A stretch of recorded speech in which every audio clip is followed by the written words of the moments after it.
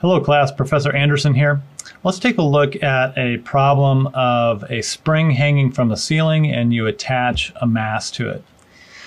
All right, so let's think about this for a second. If I have a spring attached to the ceiling, it's going to have some natural rest length. And now when I attach a mass to it, we know what's going to happen. It's going to stretch out. Okay, and initially it's going to stretch out all the way down to there. And then it's going to spring back up to its original location right there. And then it's going to go up and down a few times. And as it goes up and down, eventually it's going to lose energy to air resistance and it will finally come to an equilibrium position, which is right there. Okay, so this is the equilibrium position. This is the maximum stretch. All right, so let's say we are given the first part of the problem. Let's say we are given this height, h, and we need to determine something about, say, the spring constant k.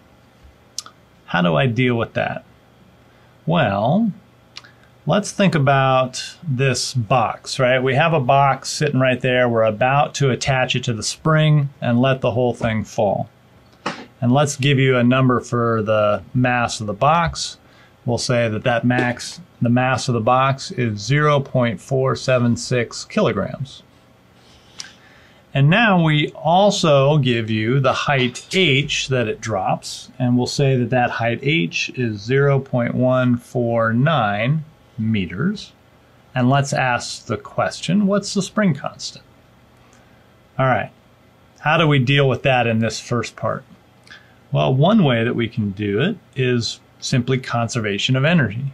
The energy initially has to be equal to the energy energy in the final picture. If this is initial and that's the final, what do we have for initial? We have MGH. What do we have for final? Well, at the bottom of its motion, it's got a velocity of zero, so there's no kinetic energy.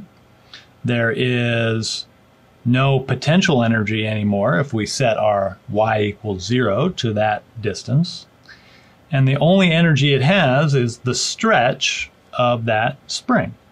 And so we can say 1 half k x squared, but how far does it stretch? It stretches a distance h.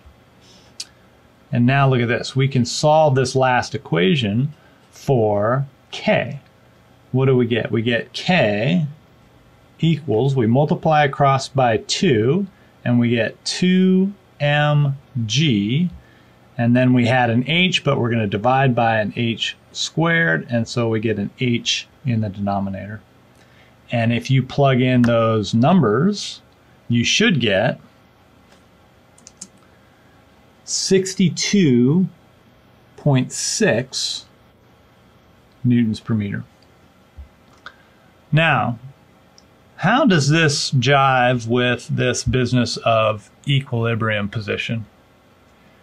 If we dropped a distance h, then this position right here is halfway between.